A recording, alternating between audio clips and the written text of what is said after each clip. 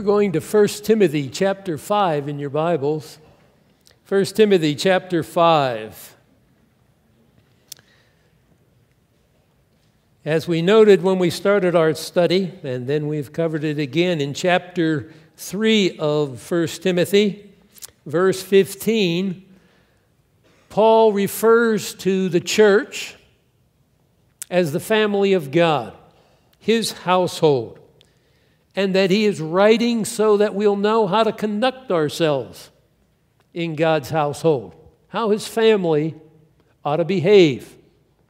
So it's natural when we come over to chapter 5, after addressing Timothy about some of his own personal life issues, how he could conduct, should conduct himself. Uh, verse 12 Let no one look down on your youthfulness but you would be an example of the believer and a pattern that they can follow. Don't neglect your spiritual gift.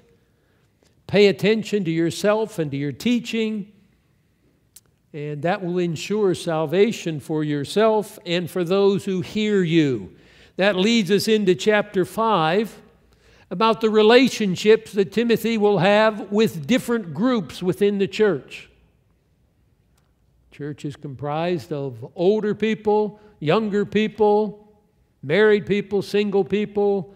Uh, he'll deal particularly with widows. In biblical times, there were slaves and masters. When we get down into chapter 6, he'll deal with those. So you have basically through chapter 5 and the first part of chapter 6 talking about the relationship, young and old, widows, older, older people, slaves, masters, how the family is relate together, to relate together. Uh, it is taken for granted that God's family will be composed of diversity. Uh, not just a church for young people, not just a church for older people, or other kinds of division. And so we are to learn to function together in a godly way. That's part of God's plan. You're going to have the same kind of instruction when you get to more personal issues as you had with other issues as well. I ought to take note of that. In verse 11, he says, Prescribe and teach these things. Then down in chapter 5, verse 7, Prescribe these things as well. Then we'd get down into chapter 6, verse 2. Teach and preach these things. So, pervades. These are things that are constantly to be brought before the people. Uh, they are to be taught, they are to be remembered, uh, they are to be put into practice. He starts out with treatment of the old and the young. Um, these are things essential for godliness. Do not rebuke an older man, but rather appeal to him as a father, and to the younger men as brothers, the older women as mothers, the younger women as sisters in all purity. Uh, so we're the household of God. There's going to be senior citizens.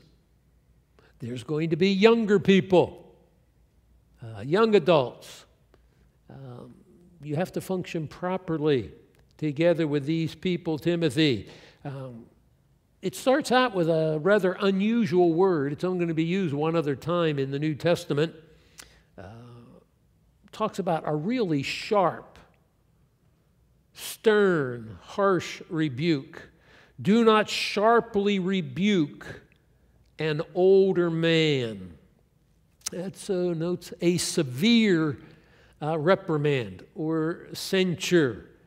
Um, originally, the word meant to hit somebody with your fists, and then it came to be used as a metaphor for, in effect, beating on someone with your words, being harsh with them, unkind. So, Timothy, as one who would be identified with the younger people, we noted perhaps uh, under uh, 40 or under, uh, he was told in chapter 4, verse 12, don't let anyone look down on your youthfulness. But you also have to deal with respect for those who are older. Do not sharply rebuke an older man. Rather, encourage him. That word appeal. Appeal to him. Encourage him as a father. Uh, older people need to be corrected at times. We don't know everything until we're 70 or older. Um, and at times, younger people in the position God's given them, like Timothy, are in a position to have to bring correction to older people. But they need to do it with respect and understanding. So they appeal to them, they encourage them. Uh, there is the way you would deal with your father. Uh, you appeal to him, encourage him. Uh, so you see the family picture here. Um, they may not be your physical parent, your physical father, but you have a sense of how you should deal with them in God's family, the same way you would deal with your father.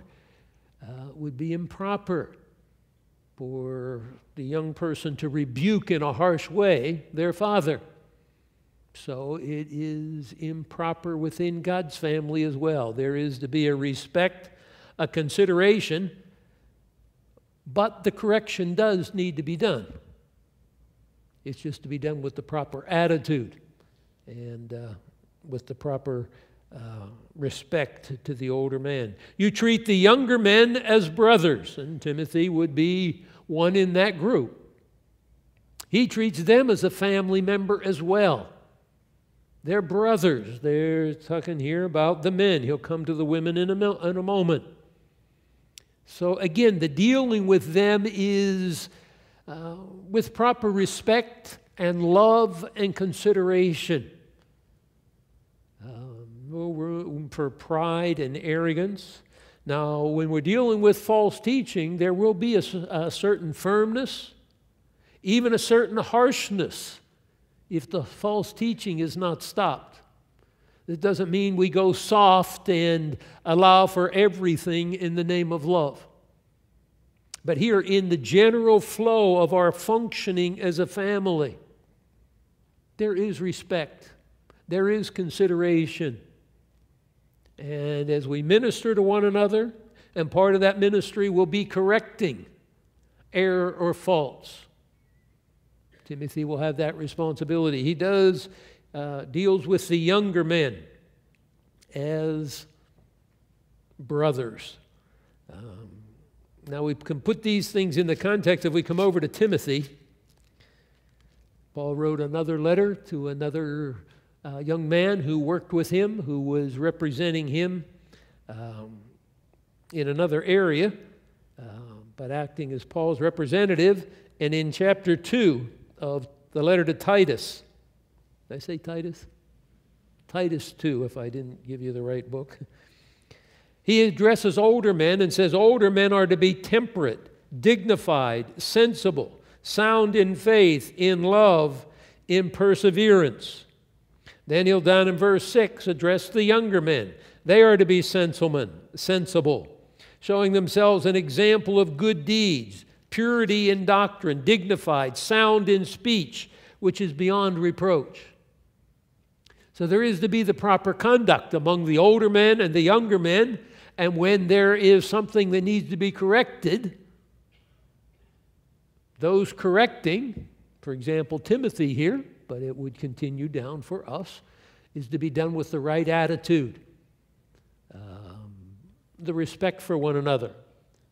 Now, where improper conduct uh, persists, then we have to deal with it in a more severe way. We saw that in chapter 1, where certain men have to be commanded not to teach other doctrines. And Paul has turned some men over to Satan for their refusal to stop teaching error.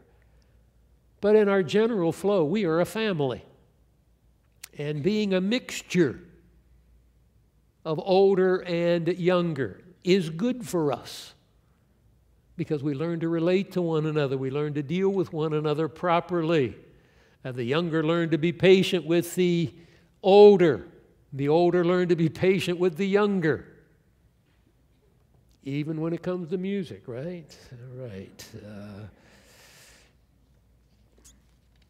verse 2 back in 1 Timothy 5, we just pick up with the older women, and I mean the uh, older women and then the younger women. The older women, you appeal to them as you would your mother. Um, again, you want to encourage them uh, where there needs to be instruction or correction. It has to be done with understanding, the way you would talk to your mother, with respect, with honor, not harsh, not talking down to them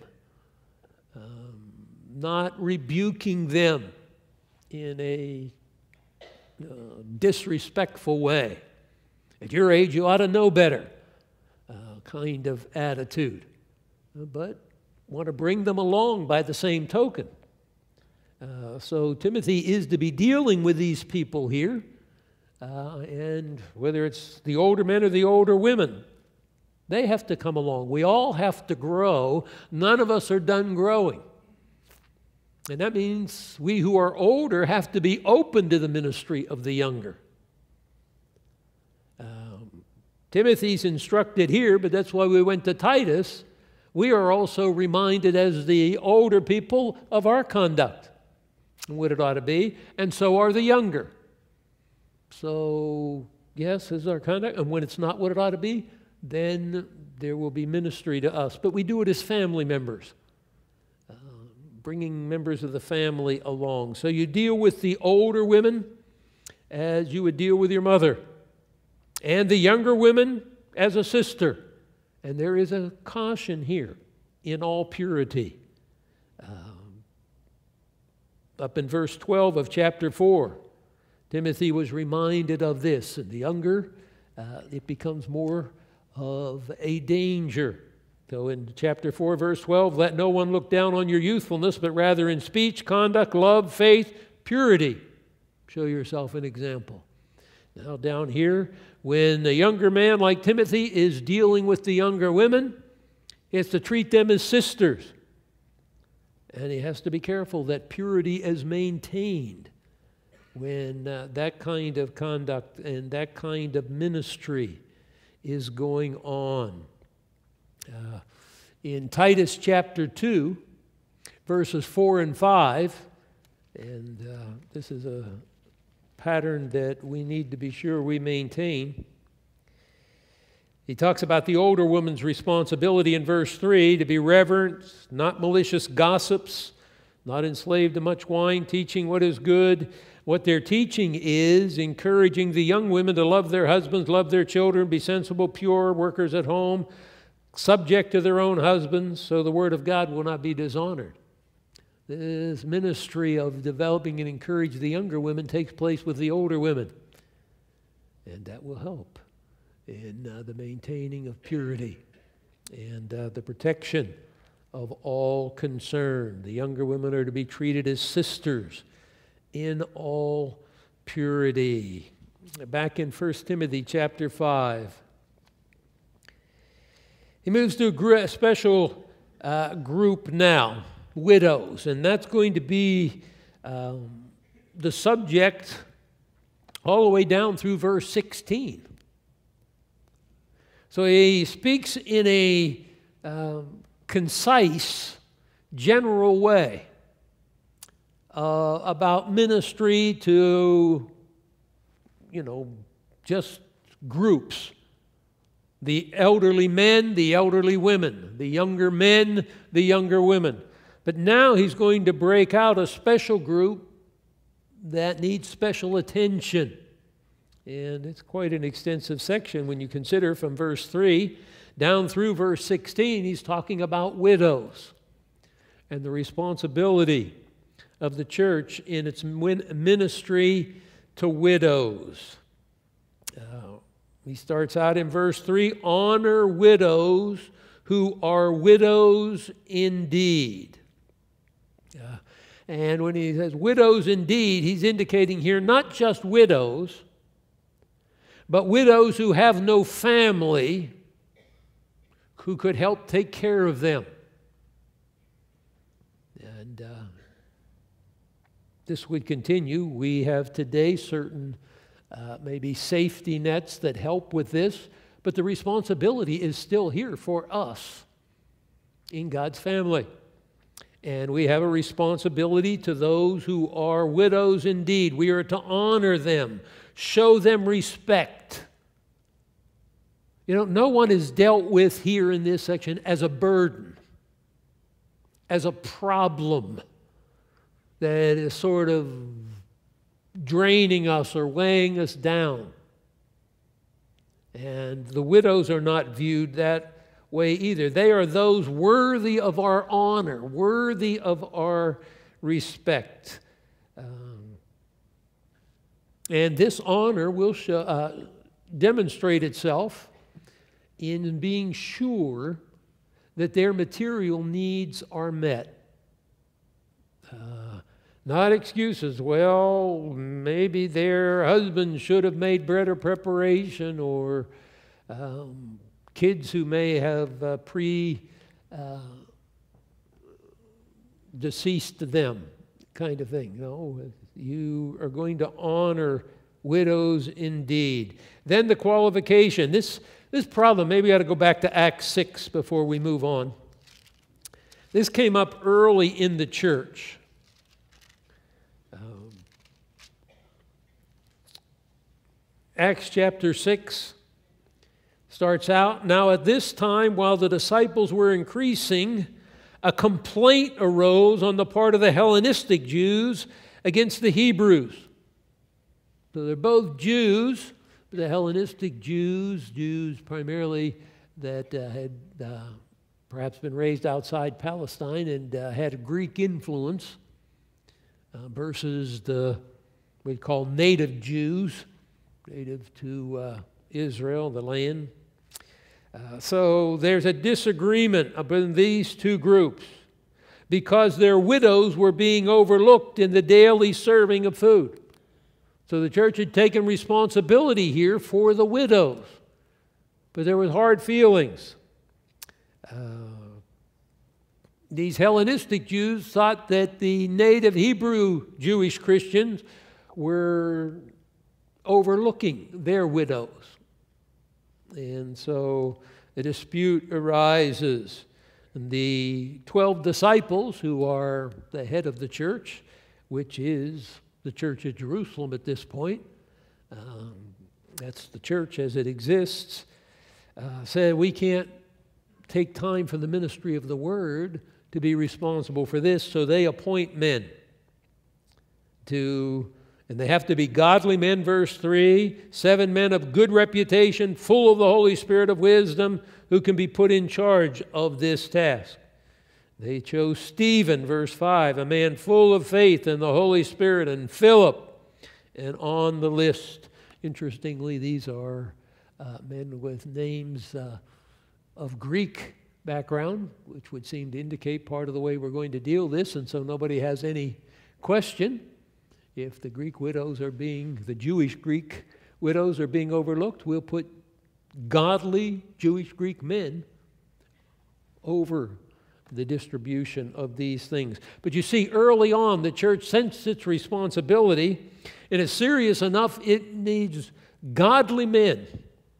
Uh, sometimes Acts 6, as we noted uh, earlier in our study of 1 Timothy, is taken as the origin of deacons, but regardless, we got the picture of what's happening. Come back to 1 Timothy chapter 5.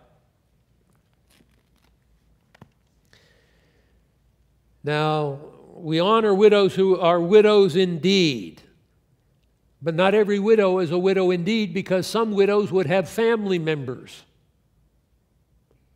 And so those family members should assume the responsibility. But if any widow has children or grandchildren. They must first learn to practice piety in regard to their own family and to make some return to their parents, for this is acceptable in the sight of God. Uh, King James said if they have children or nephews, uh, the old word uh, nephews, as it was used back uh, in the 17th century, referred to grandchildren. But it's uh, here talking about children or grandchildren. In other words, in the family. They have physical family, either their children or their grandchildren. This responsibility is passed on. Sometimes the parents outlive their own children. That could happen here uh, with uh, a mother whose husband died and perhaps her children died. Then the grandchildren have the responsibility. So they must first learn to practice piety, uh, godliness at home. This becomes part of godly character.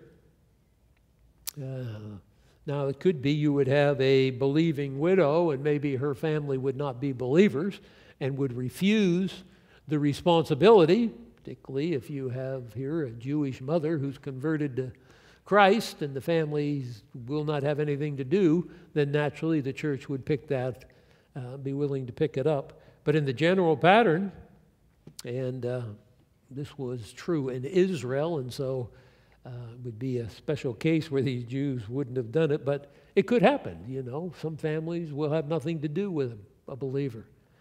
But here, at least the general pattern if there's children, they ought to learn to practice godliness. This is a constant emphasis. Important to see. This is one of the practical areas of godliness. It's not just reading my Bible and praying. It is living life as God intends. Uh, this word uh, translated piety, godliness. Come back to chapter 2. It's used eight times in Timothy, First Timothy here. In chapter 2, verse 2, we are praying for kings and all in authority so that we may lead a tranquil and quiet life in all godliness uh, down in chapter 3, verse 16. By common confession, great is the mystery of godliness. And here you have the summary of uh, the ministry of Christ as we have seen. In chapter 4, verse 7, the end of the verse discipline yourself for the purpose of godliness. That means you have nothing to do with false teaching and false doctrine. Um, verse 8 Godliness is profitable for all things, still in chapter 4, verse 8. You see that competing emphasis on godliness, godliness, and the importance of godliness. Jump over to chapter 6, verse 3. If anyone advocates a different doctrine and does not agree with sound words, those of our Lord Jesus Christ, and with the teaching conforming to godliness, often this word used in the context of being faithful to the truth of the gospel and the truth of God's word. But godliness also involves fulfilling my responsibility in my family, like taking care of a widowed mother or grandmother. Uh, it's all part of godliness. It permeates my entire life. Um, in verse 5, we'll finish this up of chapter 6. Talks about constant friction between men of depraved mind, deprived of the truth, who suppose that godliness is a means of gain. But godliness actually is a means of great gain when accompanied by contentment. Verse 11 Flee from these things, you man of God. Pursue righteousness, godliness, and so on. So we're talking about godliness. Uh, when we are studying First Timothy, we're talking about how God's people, his family, should conduct themselves. Well, we are the family of God. We ought to be characterized by godliness. Uh, lives that are pleasing to Him, honoring to Him. So, back in chapter 5, verse 4, if any widow has children or grandchildren, they must first learn to practice godliness, piety, in regard to their own family, and make some return to their parents. And others recognize the benefits I've received from my parents, their care for me, uh, in raising me to be an adult, and so on. I honor them as my parents. I have an appreciation that I show to them. You know, that's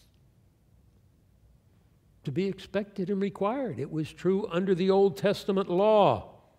Honor your father and your mother.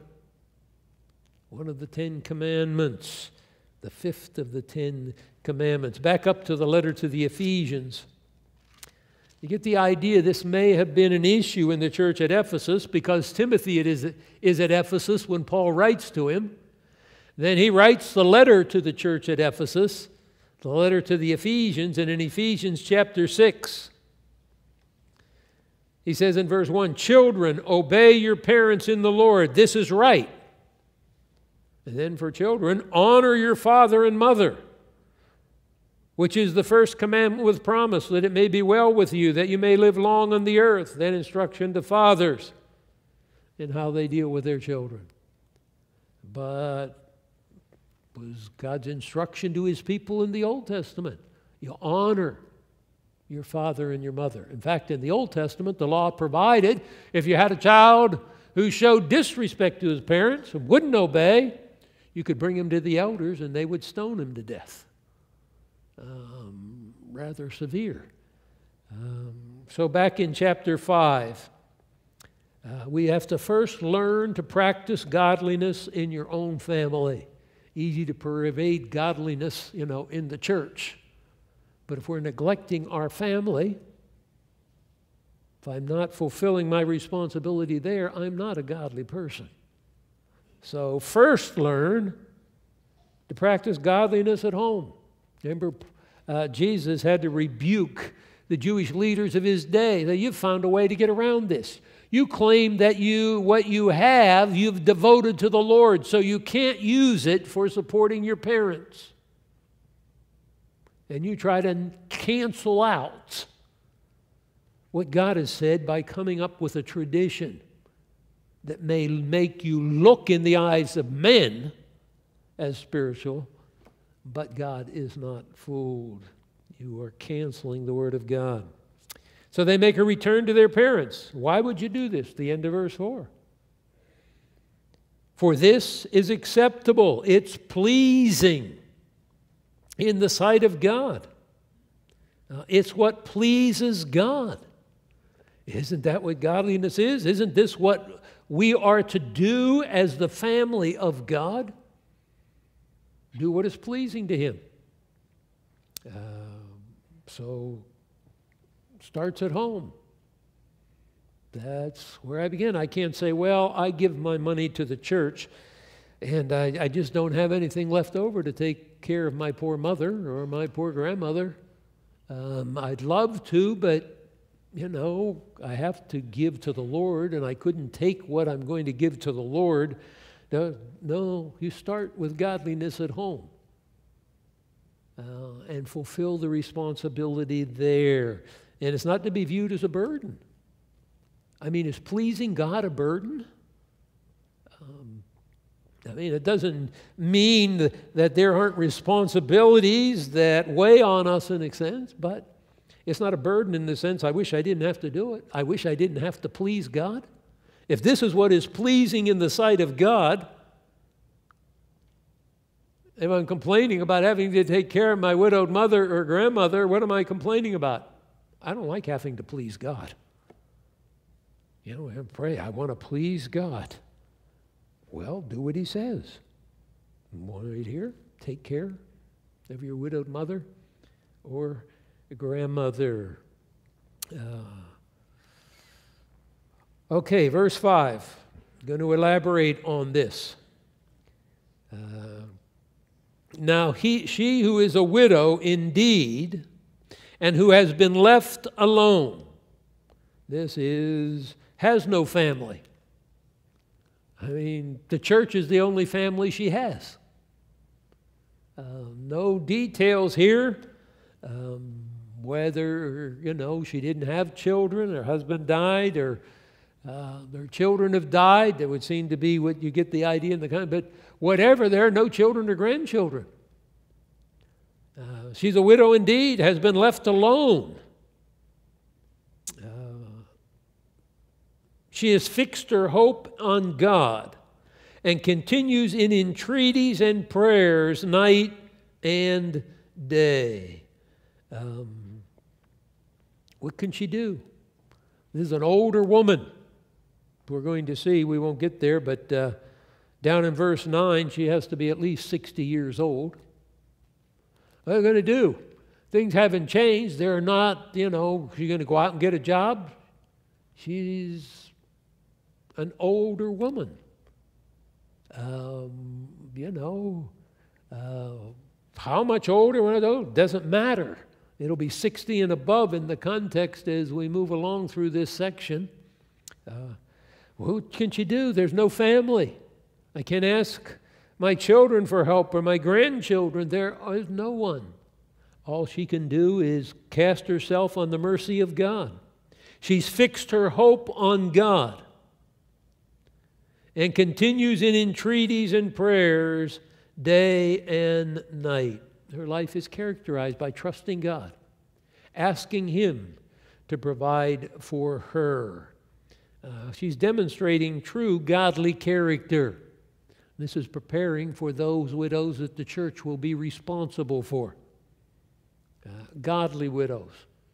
That doesn't mean that if I have a mother who's not saved, I'm not responsible for her. That's part of my physical family responsibility. As he said, that's just paying back what is owed, so to speak. But he's leading into what the church's responsibility is here. That's a little different issue in the widows that the church will take care of. So here's a godly widow. She's looking to God to surprise her need, supply her need. In contrast, a woman who lives a life, uh, who is a widow who gives herself to a light of, life of pleasure, has nothing. Uh, she's dead while she lives. And the word uh, we have translated wanton pleasure is a strong word. It's a miserable word. It's only used one other time in the New Testament, uh, in uh, James chapter 5, verse 5. Just selfish, self indulgent kind of living. This widow is dead while she lives, um, excluded from the life of God. Uh, the church at Sardis had a name that it was alive, but it's dead. Uh, this widow would have physical life. So the contrast here. So the church sees we're talking about a godly widow. Uh, there'll be further uh, guidelines given in the next section for our next study about a widow who gets to be enrolled in the church. But he makes clear here he's talking about godly widows who have the potential to be supported by the church.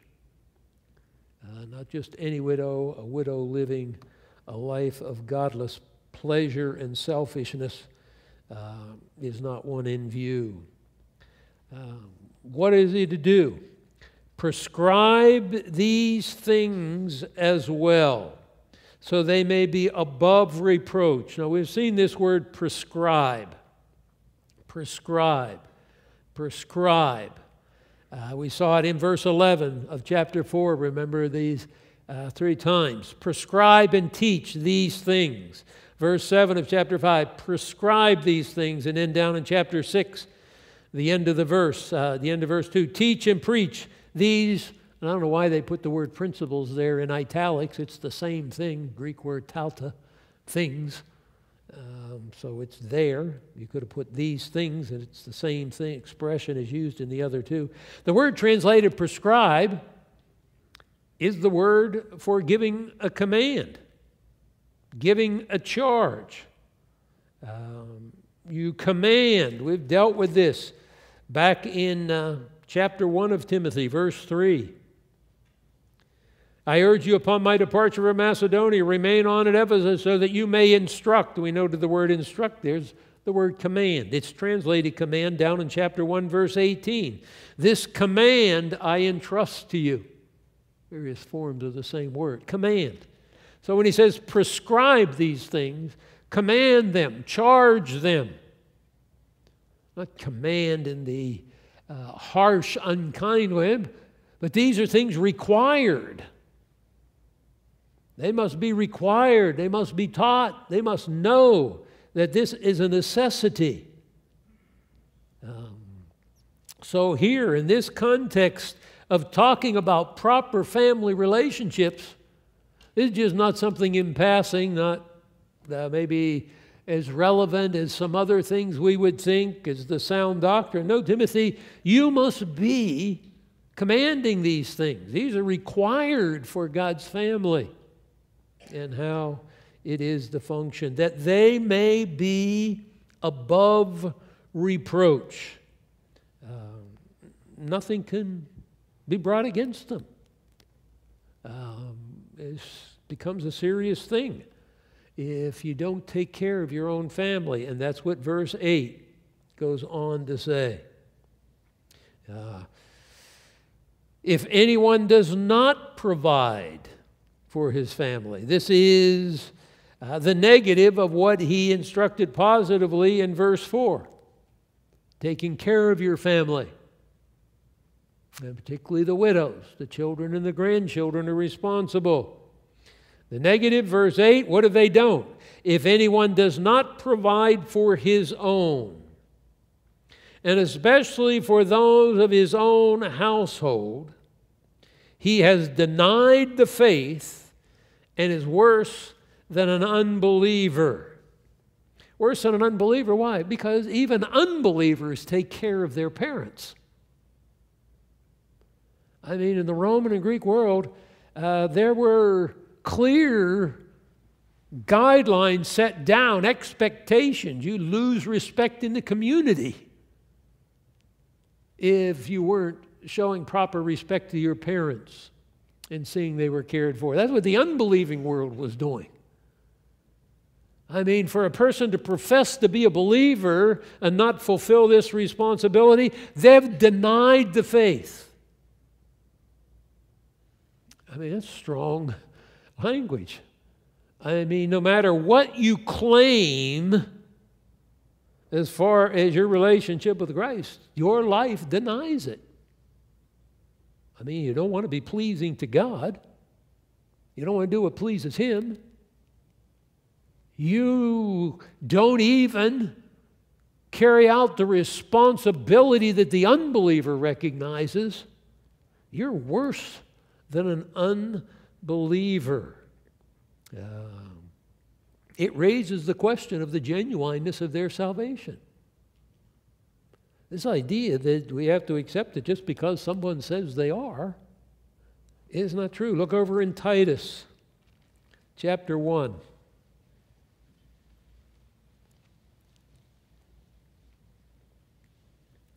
Verse 16. If I get to Titus, in the wrong book. Titus 1:16. They profess to know God, but they by their deeds they deny him, being detestable and disobedient, worthless for any good deed. Sounds similar to what he's saying uh, to Timothy. What they're they're disobedient uh, worthless for any good deed. I mean, they're worse than an infidel, worse than an unbeliever. They've denied the faith. They profess to know God,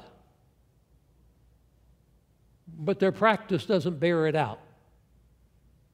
You say, well, they come to church. Uh, they do this or that, but they're not taking care of their family. It's the context back in 1 Timothy chapter 5. They're not fulfilling that basic foundational practice of godliness, up in verse 4. They first learned to practice godliness in regard to their own family. You can't bypass that. I'm going on to the advanced level. I'm skipping the found. No, you learn to practice this. This is foundational. Uh, if you're not doing this, you're denying the faith. You're worse than an unbeliever. Well, how are you going to have someone, uh, you know, we're dealing with a true believer or not? Well, you know, pretty strong language. I mean, someone who denies the faith and is worse than an unbeliever, are they going to be a member in good standing in God's family? Pretty hard to see that. Um, uh, so it's put positively and negatively. Uh, God cares for his people, He cares for his family. Uh, now, he's going to go on where we're going with this, and we're not going to go further, so we'll be done a little early. Uh, he's going to go on for instructions on how the church can keep track of the widows who are widows indeed. And this becomes a monetary responsibility of the church. Um, now, part of that would be discerning who are the widows indeed. Um, you know, we have widows who have family. Um, in our church, part of that may have to be sorted out because uh, sometimes our families are in different churches because we have a variety of churches in the same community. And so some parents are attending a different church than their children. They may all be believers. So even though might be a widow in this church, or you may have a widowed mother in another church, doesn't change the responsibility. Um, so the church would look into that, but he'll give instructions on uh, how these elderly widows are to be cared for. And it is a responsibility we are to fulfill. Now, not every widow who's a widow indeed would be in need. I mean, it's not a matter we just support any widow who has no family. Maybe uh, her deceased husband left her ample means to be cared for. Um, then, of course, the church doesn't have to do that. But we want to be careful that we don't look for excuses not to do it. Well, you know, it should have been something they took care of. Well, what we have to deal with is the situation as it is. If it's a widow indeed, and she has no means to meet her basic needs, then it will be a responsibility of the church. Basic fact of godliness. And the instruction for how the church to arrange this, and the distinction between widows over 60 and under 60 will be the subject of the next section. Let's have a word of prayer. Thank you, Lord, for your grace, your provision for us as your family in this place, in even the most basic of areas. And Lord, it is a privilege to have lives pleasing to you. And we thank you, Lord, for godly homes. Thank you for families that are caring for one another uh, widows who are being provided for by their family members, their children or grandchildren. And Lord, for us as a church, it is a privilege to step in and be involved in situations where there may be special needs and there may be widows indeed. Lord, we are encouraged as we contemplate how practical our lives are as your children. Uh, in every area, we are to manifest godly character, to live lives that are pleasing to you. And that's our goal individually and then as a church family. Lord, may we never forget that we are a family. Um, senior citizens, young adults, all ages, we minister to one another. We want to minister to one another with a proper attitude in love, care, and concern, and we want to take care of one another. May we be a testimony that is pleasing to you. We pray in Christ's name. Amen.